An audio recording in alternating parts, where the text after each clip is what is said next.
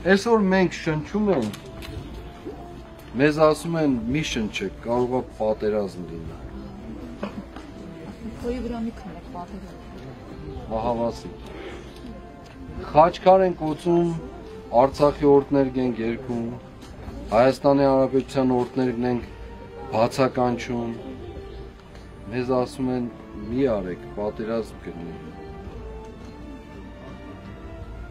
Իրար բարև ենք տալիս, ասում ենք գալ տարի Շուշիում ենք լինելու։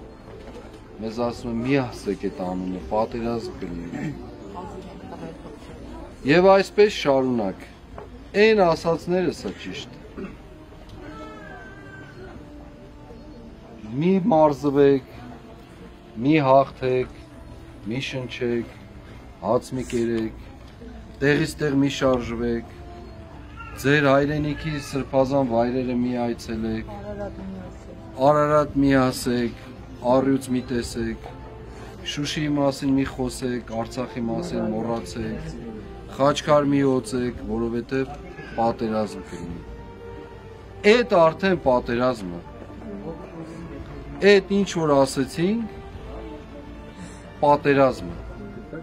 Եվ մենք հենց այդտեղ պիտի հաղթենք այդ պատերազմը, ժողովուրդ ջան։ Մնացած բոլոր դեպքերում ոչ մի բան է այդ պատերազմը։ Ոչ մի բան։ Եթե մեզ համար